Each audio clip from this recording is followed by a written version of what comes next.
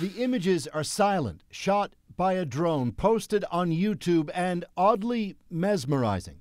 It's Jeffrey Epstein's private island in the Caribbean, a place seemingly befitting any self proclaimed billionaire, but in this case, one who was also a convicted sex offender, facing fresh sex crime charges when he apparently killed himself early Saturday in a jail cell in New York. This island, say his accusers, was where young girls were brought from around the world to be used as sex slaves. Look closely, and you'll see New York police and FBI agents raiding the place yesterday. Seen clearly through the window, computers packed in red bubble wrap, ready to go, evidence freshly gathered, underlining the investigation into Epstein's world is far from over.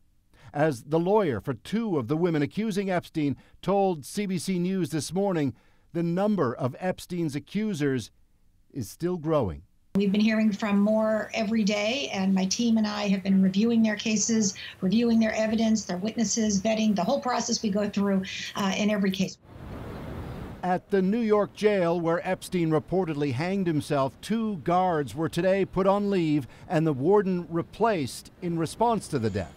But meanwhile, conspiracy theories live on. With word today, Epstein's death first came out, mysteriously enough, on 4chan, an online message board known for right wing internet trolls.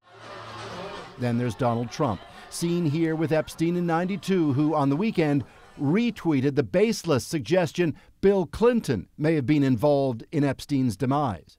Today, he chose to emphasize Clinton flew on Epstein's private jet more than two dozen times. So you have to ask, did Bill Clinton go to the island? That's the question. If you find that out, you're going to know a lot. And so, on all of that and more, they search. Paul Hunter, CBC News, Washington.